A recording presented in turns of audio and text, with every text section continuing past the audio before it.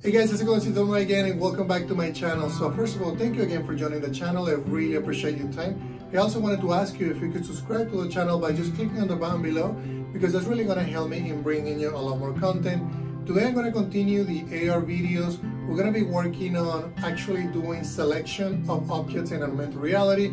I show you how to do dragging and dragging one object around. So I want to do multiple objects this time and also have an indicator of which object is selected. So let's jump into Unity and I start working on it.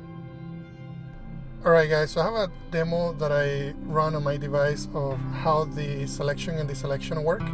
So this is how it currently works. You can select different spheres and they change to red when they're selected and then basically to gray when they're not selected. So let's jump into Unity and start working on making this happen. How I have it configured so you can basically clone it, download it and see how it works. So basically, if I hit play right now, anything that is red are gonna, is going to be the items that is currently selected, and anything that is gray, it's going to be the items that are not selected. So right now, these four spheres that are on the outer bound are the ones that are not selected, and then the middle one is the one that is selected. So when we go into augmented reality, just like I showed you in the initial video, we'll be able to basically touch each one of the spheres, and basically the color of those are going to turn into red as they are selected. So a couple of things to notice, these are all prefabs and I have them in the prefabs directory. I also have a new component added to these ones and it's basically a very simple game object that I added. It's called a placement object and for now I only have a boolean to determine if something is selected or not. The, the other things that I added if we go into the AR session origin I added a new script and this script is basically a variation of some of the other placements that we had, except this one is only going to be for selection. So this one is going to be responsible for toggling the color. So you can see that I have an active color and I also have an inactive color. So you're more than welcome to change these colors. If I wanted to change that to something else, you could see that, let's say that I change it to yellow and I hit play. This is going to change the default value of the sphere to be yellow and then anything that is unselected is going to use the color that is on the basically on the inactive color. So I'm going to undo that because I did like the color that we had, which was red. All right, and then the other things that I have in here is also I'm aware of what the placement objects are. So this is going to be, this is an array of placement objects, which all of these ones have one of those components. And you can see that by the parentheses and the object class, the class name that defines that each one of these prefabs have a placement object script associated with it. The other thing is basically a dismiss button and then the AR camera because I need to do ray casting against these objects. So I needed a reference of the AR camera and then also the welcome panel so that when I click on the dismiss button that you see on the welcome screen, it basically disappears. Okay, so that's basically everything that I did as far as like the hierarchy let me show you how the code works and I can explain it to you. So I'm gonna go and, and open up the placement with many selection controller. So this one still has the raycast manager just like the other ones. We also have a reference to the welcome panel. We also have an array of placement objects and if I go and look at the definition of this you can see that that's basically a placement object with a boolean if selected inside and it's a property so it's very simple, just an array of those, and I am basically defining those through the inspector, just like I am defining the welcome panel. Also, I am allowing the person who is defining the experience to set the color of the active color and also the inactive color. So by default, they're going to be gray and red. I also need a reference to the dismiss button, so when we press it, we can dismiss the panel. Also the AR camera, like I said in the beginning, so that we can do ray casting.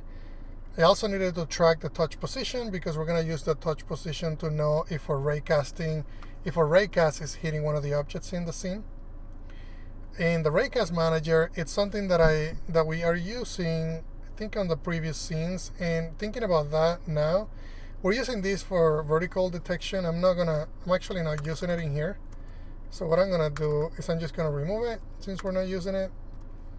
And I think yeah, in fact, we probably don't even need the raycast manager. We're just going to leave it. Let's go ahead and remove it because we don't need it. Let me just clean it up. So when you download the code, you don't get anything that you don't need. So it's gonna go back into the AR session origin. And then since we're not using this AR Raycast Manager, I'm just gonna remove it just to keep things simple and then you know exactly what I'm using. All right, so the, and then the hits, we're also not using it because that's for vertical detection and horizontal detection of planes. All right, so that actually made it a lot simpler. And it looks like we're not using some of these using statements. I'm just gonna remove it. All right, so on the awake method, I'm basically connecting the dismiss method to the handler of the onClick event. And then when somebody presses the dismiss button, we're basically deactivating the welcome panel. We're also making sure that we don't capture any touches unless the welcome panel is not visible. The other thing that, that I'm doing in here is I'm also getting, I'm making sure that if somebody touches the screen, there's a, there's a touch count greater than zero. If there is, I get a reference to that touch. I also get the touch position, and then I go through the phases. So the only phase that we that we do here is the begin phase because I only need to know when the user starts touching the screen. When they start touching the screen, that's when I'm going to evaluate if we're doing a, if we have a collision through a raycast. So we're basically creating a ray, and then we're passing in the touch position. We also get a reference to a raycast hit. If we do get a hit, if we're basically touching one of those objects, which means that one of those objects is going to have a placement object. If it has a placement object associated with it, I'm basically going to get that component if this is null, I know that the object that I have in the scene is not a placement object. It might be a tree, it might be a table or something that I have set up in 3D, but I didn't want to, I didn't want this script to basically evaluate. So that's what I did it as a placement object. If we want to go in more in detail, we can add layers and then making sure that, you know, our layer mask matches the, the mask of the item that we want to raycast against. And then, you know, we can have additional logic for now, I'm just going to keep it simple. If we have a placement object, that means that it's one of the objects that I want to change and toggle the color, going from active to the active and from inactive to active. And that's what I have this method here. If the placement object is not null, I'm going to change the selected object. I pass in the object that they're selecting, and then I basically go through a loop. I get the mesh render because I'm going to need it to change the color. And all I'm doing is, if the selected placement object that the person is actually selecting does not equal the current one, I basically set it to false.